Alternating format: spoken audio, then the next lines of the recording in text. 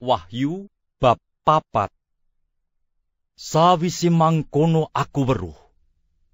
Lah sanyata lawanging swarga ana kang mengo sarta ana swara kang wis ndak rungu biyen ngandikani aku kaya suarane kala sangka mangkene Sira munggah mrene bakal suntedai apa kang sakwise iki pinasti kelakon. Sanalika iku aku kalimputan ing roh. Lah, ing swarga ana dampar lan ana kang lenggah ing dampar iku. Panjenengane kang lenggah ing dampar iku sawangane kaya sesotya yaspis lan sardis. Lan ing saku bengi dampar ana kluwunge kang katon sumunar kaya jamrut. Ana dene ing saku bengi dampar mau ana dampare pat likur linenggan dening pinituwa pat likur. Padha ngagem ageman putih sarta ngagem makutha emas. Saka ing dampar mau ana kilate kang metu lan swara gluduk kang gumleger. Lan ing ngarepe dampar ana obor pitu kang padha muruk yaiku roy Allah pepitu. Karo dene ing ngarepe dampar ana segara kaca kristal. Ing satengahe dampar lan ing sakubengi ana makhluk papat padha kebak meripat ana ing ngarep lan ing mburi. Dene makhluk mau kang kapisan kaya singa. Kang kapindho kaya pedhet. Kang katelu iku raine kaya manungsa.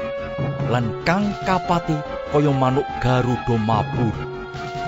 Makhluk papat mau siji-sijine ana swiwine enem. Ing sisih njaba lan jerone padha kebak mripat. Lan rina wengi tanpa leren anggone ngucap mangkene. Suci, suci.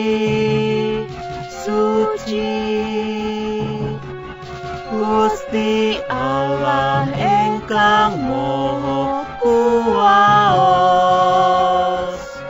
ingkang rumiyin wonten ingkang samangke wonten saha ingkang badhe rawuh